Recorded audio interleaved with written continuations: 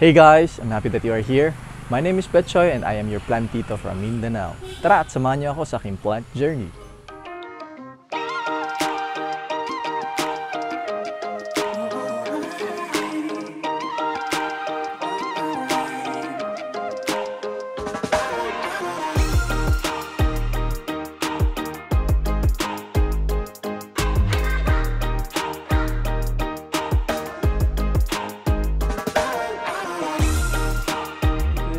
To those who are new to this channel at sa mga hindi pa nakapag-subscribe, please click on the subscribe button and pakiclick na rin po ng ating bell notification para maging updated kayo sa mga latest videos ng Betchoy Vlog. Please follow me on our other social media accounts. Aside from YouTube, we have a Facebook page and our page is Betchoy Vlog and we also have an Instagram account and our ID is Betchoy underscore vlog and let's talk about plants. So if ever meron kayong mga questions about plants, plant cares, plant IDs, any other stuffs about plants, you can send me a message sa ating Facebook and IG and itatry kong masagot ang inyong mga katanungan. For our episode today guys, this will be a garden tour but this will be a first of a series of garden tours that we'll be doing in the future. I thought to myself na gagawin natin itong per family of plants para at least naman mabigyan natin sila ng kanya-kanyang mga spotlights. And so, for today's episode guys, I will be sharing to you my alocasia collections. Siguro some of you might have seen these alocasia collections of mine previously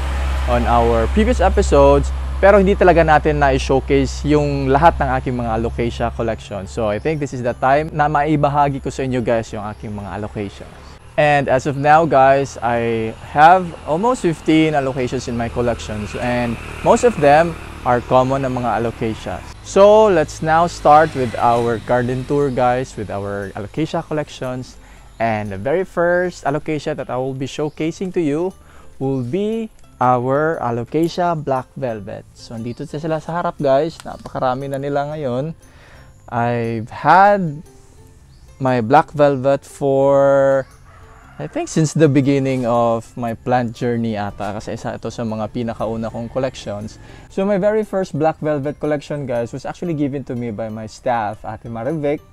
And I'm very fortunate kasi yung black velvet natin napaka napakadali lang nilang alagaan and then napakabilis lang din nilang mag-produce ng mga dahon and mga saha. So from one pot napakarami na nila and in fact napaka, nakapagbigay na rin ako ng mga black velvets to some of my friends and families here. And in terms of rarity guys, itong mga black velvets ng mga alocasias is actually one of the most common ng mga alocasias dito sa amin sa Mindanao. Um, I think in almost all households na may mga plant collections, hindi talaga ito mawawala. At yun nga, yung iba nga pinangbibigay lang kasi napakabilis lang din nilang mag-propagate. And Um, in terms of price range, siguro yung mga isang pot na ganito nakalaki yung mga dahon, nasa mga 50 pesos or 100 dito sa amin. And in some areas, I believe, siguro in Visayas or in Luzon, medyo pricey siya. Kasi yun nga dito, itong black velvet, dito ito sa Mindanao, abundant. So here is a closer look of our black velvet guys. So from the name itself, black velvet, actually this is not black in color but medyo dark green siya and the texture of the leaves it's really velvety it's very sturdy and it's very um, it's very solid na solid siya. Hindi siya madaling masira na dahon. Now let's go to our second allocation for the day guys and this is my Alocasia scalp room so ito na siya So I bought this one from Kidapawan at the price of 50 pesos. Dalawa or tatlo atang binili ko. And then when it arrived here, ano na siya, um, just like with any other allocations na siniship for how many days, talagang malalanta at masisira yung mga dahon. So what was left was a bulb and eventually ginrow, uh, nag-grow lang siya from the bulb. So as of this moment, ito na siya ngayon. And um, I think meron talagang issue ito yung kanyang dahon. It should not be like this. So ito na siya guys. Actually kapag medyo nagiging ganito na yung dahon natin, may mga kulubot-kulubot, this is a sign of um, low calcium sa ating plant. And may kapag may mga ganito naman, may mga yellow spots na ganyan, there is a possibility na may may bulate doon sa ilalim ng lupa. So I have to uproot this scalp room soon. So ito naman guys, yung ating scalp room, actually in terms of beauty, hindi din ito papahuli. And in fact, I can compare this one, yung kanyang yung kanyang beauty ng kanyang dahon somewhat similar to dragon scale. Lang iba naman yung dragon scale. That's a very um, that's one of the jewel allocations na medyo pricey na talaga. Pero looking at the details of its leaves this is also very beautiful talaga. So the third allocation in our collection guys is this allocation nigra And by the name itself, Negra, so medyo dark siya or may pagka-black yung color. But in fact, hindi naman talaga siya color black, but it's very dark and deep na green. And itong ating Negra guys, I actually got this one dito lang sa labas ng aming bahay within the within our property and I just spotted this one. So ngayon, actually I have I have two or three of these ata na ganito na din kalalaki. And mind you guys, itong ating mga location Negra, they can grow to be giant na mga alocasia. So lalaki pa ito, bigger than human size. Maaalagaan ng maayos. So one thing that makes this Nigra unique guys is also its petiole. So if we take a look at the petiole, medyo dark ano siya, may pagka dark maroon na yung kanyang color. So talagang same with the name na Nigra, medyo dark siya as compared with other allocations na most of them are colored green lang yung kanyang mga petioles. Punta naman tayo sa ating pang-apat na allocasia guys and this is our allocasia na Lothar Bacchiana And this is actually kind of unique na alocasia as compared with the other regular alocasias na mga most of them are heart-shaped. Ito namang Lothar is medyo iba yung kanyang shape ng kanyang dahon, mga elongated na may corrugation. So ito siya guys. Medyo unique siya and then also try to look at its petioles na medyo may pag, may mga tiger prints or animal prints din siya. I think I bought this one at the price of 100 pesos during one of our plant hunting episodes. So itong Luther Bacchiana guys, I think this is one of the common mga allocations din dito sa amin sa plant market naman dito. So makakahanap lang tayo nito sa mga garden shops. And I don't know lang kung in other places like in Luzon or in the Visayas, if abundant din ba yung mga Luther Bacchiana sa inyo. So itong ating Luther Bacchiana guys, actually meron din siyang isang kasimilar din na allocation. Ipapakita lang din natin later on and that is our allocation na Tigrina. So dito naman tayo guys, punta tayo sa ating fifth na allocation. And this is our allocation na Bambino. Let's just take a look at its beauty guys. Actually, if you try to uh, have a closer look at it, medyo parang combination siya ng different breeds of allocation. May pagka Amazonica, may pagka Longiloba. So, but this one, this is our Bambino na Alocasia. So, itong ating Alocasia Bambino, guys, this is actually an imported one. And if I'm not mistaken, this came from Thailand. And I bought this in one of the garden shops dito. Pinambarter ko lang yung aking Syngonium albo for this plant. So sa plant market guys, I think the price ranges from around 600 to 800 pesos. Depende kung gaano nakalaki yung mga Alocasia Bambino nila. And by the name itself, Bambino, so parang pang-cute talaga siya. So, hindi natin ma-expect na magiging giant yung ating Bambino. Siguro mga ganito lang siya na sizes at magiging lush lang siya later on. One observation that I've also seen regarding this Bambino, guys, is that in terms of leaf production, hindi siya ganun ka-generous or kabilis magbigay ng mga panibagong dahon. And I'm not sure lang kung uh, the reason is dahil imported ito, so baka nagtatry pa siya mag-acclimate dito, or sadyang ganito lang talaga yung mga bambino, mahina na talaga in terms of leaf production. So, let's now return our bambino guys and let's proceed with our next allocation. And that is our Heterophilia corazon na allocation. So, hindi ko na siya kukunin kasi medyo mabigat siya. Baka masira ko pa. So, ito na siya ngayon. Napakaganda talaga ng ating Heterophilia corazon and specifically for this plant. Meron itong sentimental value sa akin guys. Kasi, isa ito sa pinakaunang regalo ko na natanggap from one of our subscribers. So, inalagaan ko talaga ng maayos until na naging ganito na siya. Sobrang last niya. Alam nyo na siguro guys na favorite ko talaga itong Heterophilia corazon kasi nasama ito sa ating mga previous episodes like yung mga favorite plants ko for 2020. Sino ba namang hindi maaakit sa beauty nito guys? Just take a look at its silver color ng mga dahon na medyo may pagka-shiny, tsaka iba din talaga yung details sa kanyang mga dahon. And in terms of the price range guys, yung ating heterophilia naman, in our area dito sa Mindanao, medyo common ito kasi very abundant ito. So makakahanap ka na ng heterophilia corazon guys at the price of 200 pesos pero mga maliliit pa yon. Kung gusto mo naman ng medyo malalaki na, na ganyan na kalaki, siguro we can expect na bit pricey na yon. Itong ating Heterophilia corazon guys, sobrang mature na nito kasi may mga flowers na lumalabas and also nakailang propagation na rin ako nito. So now guys, samahan niyo ako, puntahan natin yung ating pang 7th alocasia in my collection. And this one, this is our alocasia na tigrina. So andito na siya, hindi ko na siya kukunin guys kasi madi-disrupt yung other plants natin dito sa area na ito. But this one is my tigrina. And actually, I think hindi pa ito fully mature size because I've seen some tigrina sa mga bahay ng mga relatives ko na sobrang lalaki na guys. As in, bigger than human size. Mga giant na. Ito, ganito pa lang siya. Meron siyang apat na dahon at kaya siya tinawag na tigrina. It's because again of the parang ang mga animal prints dito sa kanyang mga petioles. Medyo unique din itong ating tigrina kasi it's very iba din yung shape niya kanyang dahon. May pagka arrow arrowhead shape yung kanyang dahon.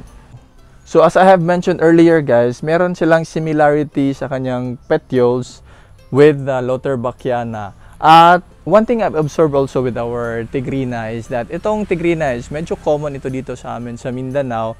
But I, I'm, I think medyo rare ito in some other places in the Philippines. So maybe you can just um, confirm to that in the comment section kung talagang rare ba ito in Luzon or in the Visayas. So itong aking tigrina guys, this was actually given to me by Ate Marivic again and during that time, one leaf pa lang siya. And right now, actually nakailang produce na ito ng dahon but then slowly gini-give off niya or uh, nalalanta lang siya. Um, siguro I'm thinking na i-repot ko ito into a bigger pot kasi yung nanonotice ko is that every time na may palabas na na pang limang dahon is gini-give up niya na yung kanyang pinakalumang dahon. So baka kailangan na natin itong i-repot. So proceed na tayo sa ating next alocasia guys. And this is our alocasia na Amazonica. And nasa tabi lang din niya yung ating Longiloba na alocasia. So andito yung dalawa kong alocasias. And let's talk first about our alocasia Amazonica. I actually bought this one early this year And that time, I think it was priced at 700 pesos. Meron siyang dalawang dahon. So there came a point guys na naging dormant itong ating alocasia na Amazonica.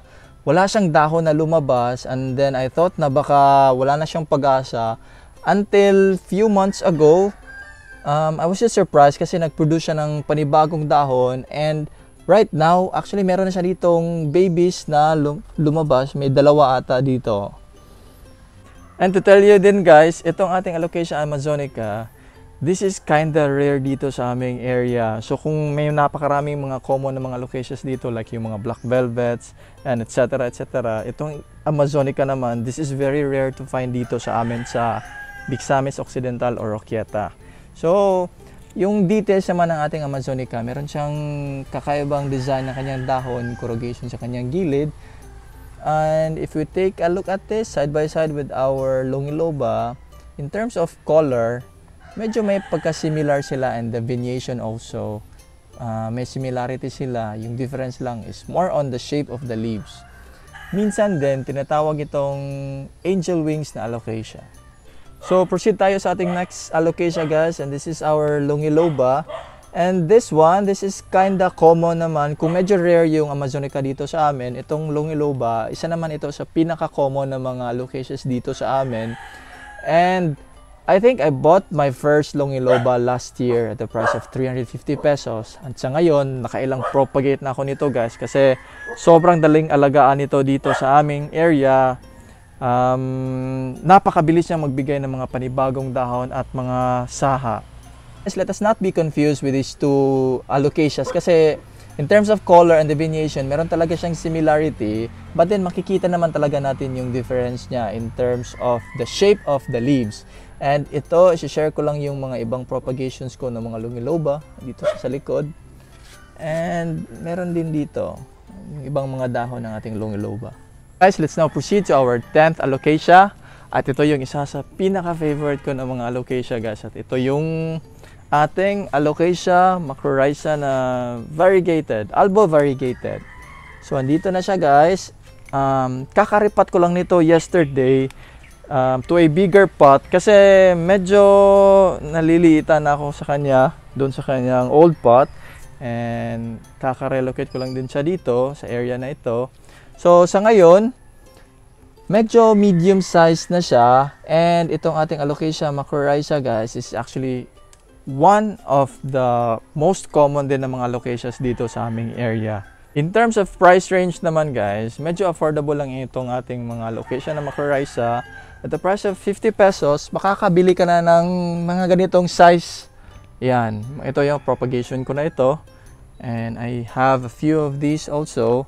And I'm also planning to do a separate video regarding the care tips of this alocasia macrorrhiza na variegated. Kasi I feel na mayroon akong napakaraming may share na mga information regarding the how we take care of this plant. So punta tayo sa ating pang 11th na alocasia guys and this is my alocasia na green shield. And this one, This was given to me as a gift again by Ate Marivic and during that time last year when I got this one, one leaf pa lang siya na medyo maliit pa. So sa ngayon, napakalaki na niya guys and then napakarami na rin niyang dahon. In fact, nakailang propagation na rin ako nito. And in terms of taking care of this green shield natin, this is very easy to take care. Hindi naman siya sensitive na plant. And then, yun, in terms of leaf production, napakabilis din niya mag-produce ng mga panibagong dahon. So, sa ngayon guys, meron na siyang pitong dahon. And if you can see here, meron tayong isang dahon. Ito yung pinakalumang dahon niya. This is the seventh leaf. And I'm expecting na i-give up niya ito kasi um, kakaripat ko lang nitong ating allocation na green shield. So, we can really expect na every time we repot our allocations, there's really that big chance na magi-give up siya ng dahon. And now let's proceed to our 12th plant and this is our Alocasia Green Velvet. So ito na siya guys.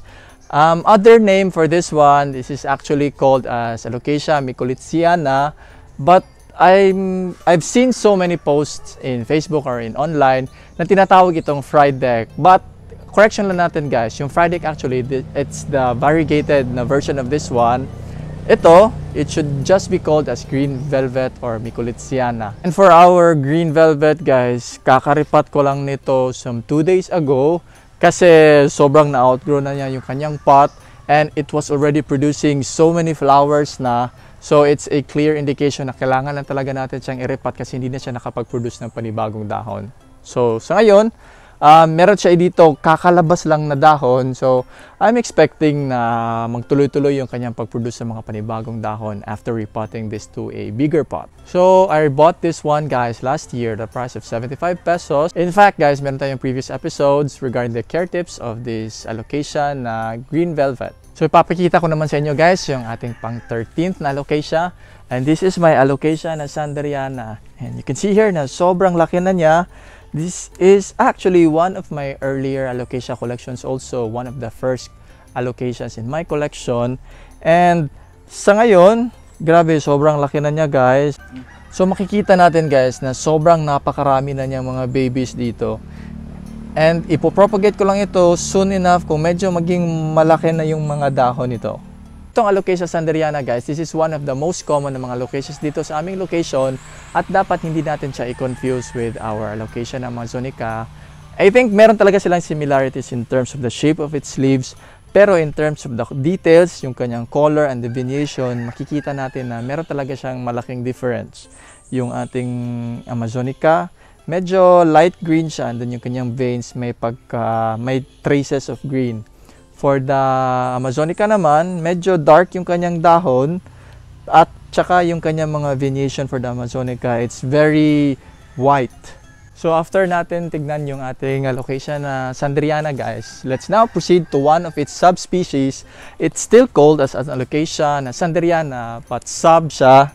And this is our allocation na nobilis.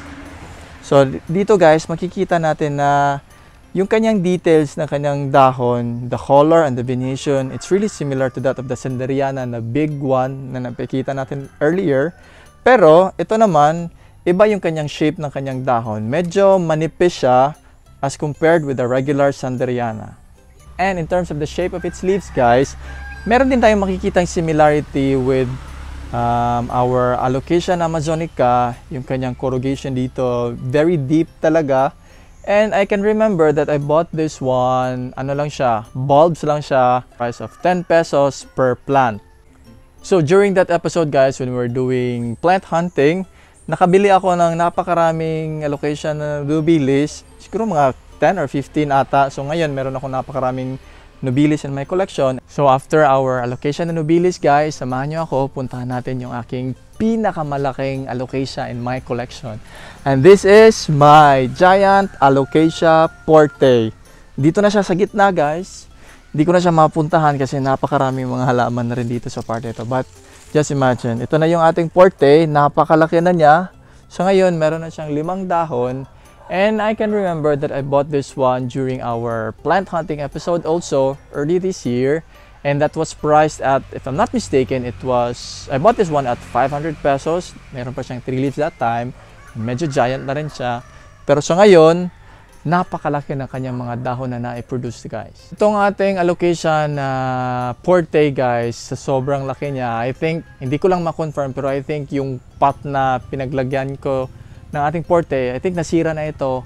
The good thing lang was that nilagay ko siya directly sa ground. So, I suppose yung kanyang mga ugat is wala, naka ano na dun sa ilalim na nakadirect na sa soil ata at this point. Kaya nagiging ganito na rin siya kalaki.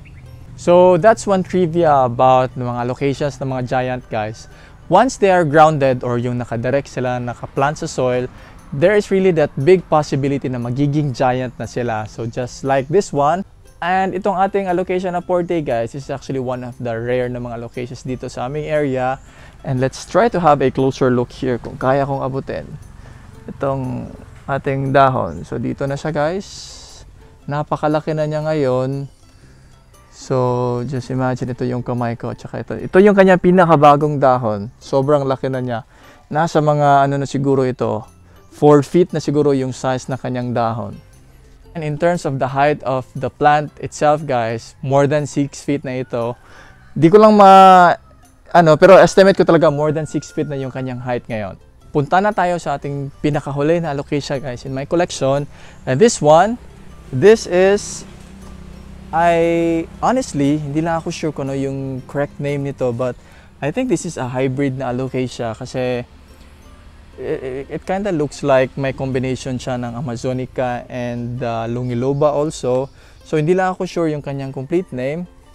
There are some posts na nakita ko na somewhat similar with this plant and this was identified as Luiai. Pero hindi lang ako sure kasi I haven't seen one na plant collector na meron din ganito na tinawag na Luiai. Some of them they call this Longiloba ata. Pero I'm sure this is not a Longiloba. And I just hope na mag magkaroon tayo ng correct ID nito after showing this in our vlog. So I bought this one guys during one of my plant hunting and nakita ko lang ito sa isang backyard garden and then when I saw this one, immediately nagka-interest ako so that is why I immediately bought this. And this is currently one of my favorite na mga alocasias. Um, just take a look at the details of its leaves guys. Yung kanyang venation, very unique aside from the veins itself na dito meron siyang may pagka light green or white na color. Meron pa rin siyang pattern, parang traces dito sa ilalim ng kanyang mga veins. So kung titignan natin at a closer look, parang umiilaw or nag-illuminate yung kanyang veins. And this one, this is its newest leaf. Pinaka malaking dahon niya and it's very beautiful and shiny. So guys, yun na yung aking 15 allocations in my collection. I think guys, nakuha ko na yung mga common allocations dito sa aming area and it's I think it's also high time na mag-level up tayo and I'm planning to get some jewel allocations in the future. In fact, meron ako na order na isang Cupriya and I'm expecting it to arrive anytime soon. Siguro we'll just include this in one of our unboxing ng mga episodes. So kayo naman guys, ilang mga allocations na ba meron sa inyong mga collections? Pakilapag naman po sa ating comment section. So that would be it guys. That's our episode. Today, our alocasia collections the very first of our garden tour ng mga episodes and I hope nag-enjoy kayo sa ating naipikita ng mga alocasia collections. And before we end this video guys, let us do our shoutouts. Shoutout kay Madeline Camarillo, shoutout din kay Mary Ann Compas, shoutout also kay Summer Ramirez, shoutout na rin kay Josephine Basto, shoutout na rin kay Marilyn Ted, Shoutout also to Brian Emmanuel Bumbales. Shoutout na rin kay Raquel Lungan And shoutout na rin kay Chody Valles. Again guys, sa mga hindi pa nakapag-subscribe, please click on the subscribe button and pakiclick na rin po ng ating bell notification para maging updated kayo sa mga latest uploads ng Betchoy Vlog. Once again, this is Betchoy, your plantito from Mindanao. Happy planting!